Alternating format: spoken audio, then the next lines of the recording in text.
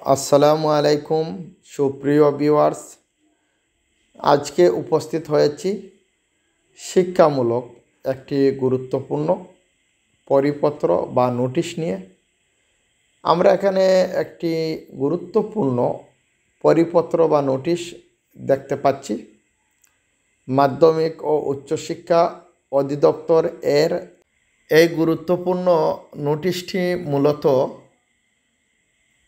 পরিপূর্ণভাবে নতুন কারিকুলাম বাস্তবায়ন প্রসঙ্গে। অর্থাৎ বিভিন্ন শিক্ষা প্রতিষ্ঠান নতুন যে কারিকুলাম সৃষ্টি করা হয়েছে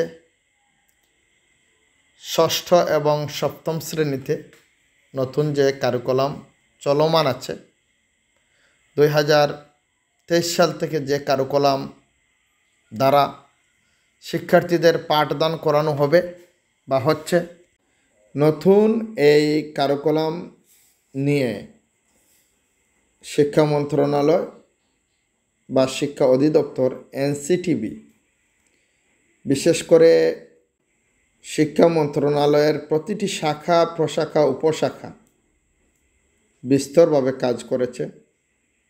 উপজেলা শিক্ষা অফিস থেকে নিয়ে জেলা শিক্ষা অফিস, অধিদপ্তর মাধ্যমিক ও উচ্চশিক্ষা অধিদপ্তর, মাদ্রাসা শিক্ষা অধিদপ্তর, কারিগরি শিক্ষা অধিদপ্তর সহ প্রতিটি শাখা প্রশাখা শিক্ষা বোর্ডসমূহ সংশ্লিষ্ট সকল শিক্ষা বোর্ড এই কার্যকলাম নিয়ে কোনো না কোনোভাবে কাজ করেছে এবং বাংলাদেশের প্রতিটি মাধ্যমিক বিদ্যালয় অর্থাৎ মাধ্যমিক স্কুল এবং মাধ্যমিক পর্যায়ের মাদ্রাসাগুলোতে প্রতিটি প্রতিষ্ঠানের সিংহভাগ শিক্ষককে প্রশিক্ষণ দেওয়া হয়েছে এই কারুকলামের ওপর এই কারুকলাম একটি গুরুত্বপূর্ণ কারুকলাম, যেটি বাস্তবমুখী শিক্ষাকে শিক্ষার্থীদের মাঝে বিলিয়ে দেওয়ার একটি পন্থা। কিন্তু এই কারিকুলাম এর প্রশিক্ষণ নেওয়ার পরও বিভিন্ন স্থানে, বিভিন্ন প্রতিষ্ঠানে শিক্ষকগণ কারুকলামের বিধি অনুযায়ী বা কারুকলাম অনুযায়ী পরিপূর্ণভাবে শিক্ষাদান বা পাঠদান বাস্তবে করাচ্ছেন না। এবং এই কারুকলম অনুযায়ী অনেক স্থানে বা অনেক প্রতিষ্ঠানে মূল্যায়ন করা হয়নি, অর্থাৎ পরীক্ষা নেওয়া হয়নি যে সামষ্টিক মূল্যায়নগুলো দেওয়া হয়েছে। ষান্মাসিক সামষ্টিক মূল্যায়ন এবং বার্ষিক সামষ্টিক মূল্যায়ন।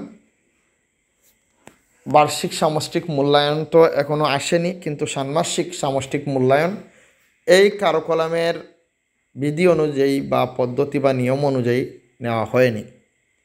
সেজন্য শিক্ষা মন্ত্রণালয়ের অধীনস্থ মাধ্যমিক ও উচ্চশিক্ষা অধিদপ্তর খুবই গুরুত্বপূর্ণ এবং অর্থবহ এবং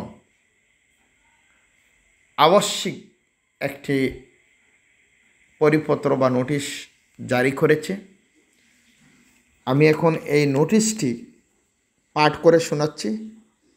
উপর্যুক্ত বিষয়ের আলোকে জানানো যাচ্ছে যে মাধ্যমিক ও উচ্চশিক্ষা অধিদপ্তরের আওতাধীন মাধ্যমিক স্তরের শিক্ষকদের নতুন শিক্ষাক্রম বাস্তবায়নের জন্য পাঁচ দিনব্যাপী প্রশিক্ষণ, শিক্ষক সহায়িকা ও মূল্যায়ন নির্দেশিকা প্রদান করা হয়েছে।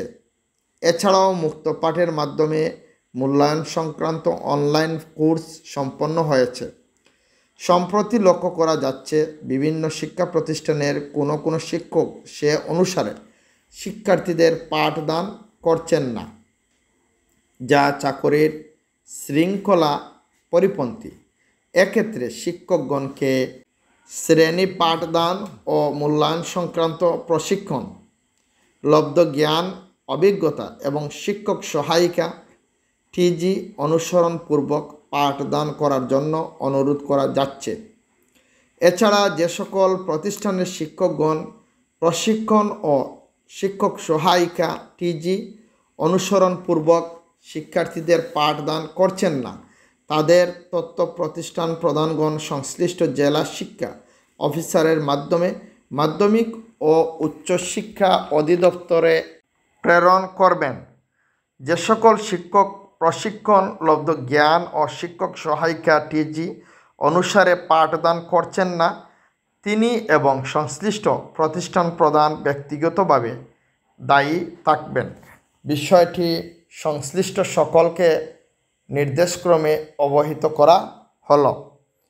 এটি একটি গুরুত্বপূর্ণ নোটিশ যেটি এস এম রেজাউল হায়দার সহকারী পরিচালক মাধ্যমিক টু স্বাক্ষরিত একটি নোটিশ।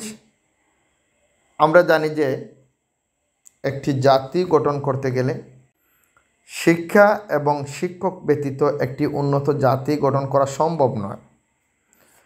কারণ শিক্ষার মাধ্যমে একটি জাতি উচ্চশিক্ষিত হয় এবং একটি জাতি পরিপূর্ণ উন্নত জাতিতে পরিণত হয়। আর এই জাতি গঠনের সবচেয়ে বড় অবদান হচ্ছে শিক্ষকদের। কিন্তু শিক্ষকগণ যদি শিক্ষার্থীদের যথাযথভাবে পাঠদান না করাতে পারেন, যথাযথভাবে তাদের মধ্যে যদি সঠিক জ্ঞান চর্চা করাতে না পারেন, তাহলে শিক্ষা ব্যবস্থা বঙ্গুর হয়ে যায় এবং সে দেশের উন্নয়ন বাধাগ্রস্ত হয় এবং এক সময় এই দেশ তলাবিহীন জুড়িতে পরিণত হয়। সুতরাং আমাদের দেশে বারবার বিভিন্ন পদ্ধতি অনুসরণ করে, অবলম্বন করে, কোনো পদ্ধতিকেই সাকসেসফুল করা যাচ্ছে না।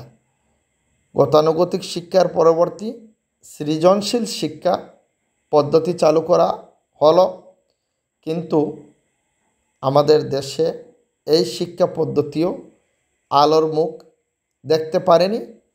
অর্থাৎ সিংহবাগ শিক্ষক সৃজনশীল পদ্ধতিতে প্রশ্ন কাঠামো তৈরি করতে পারে না বা পারেননি।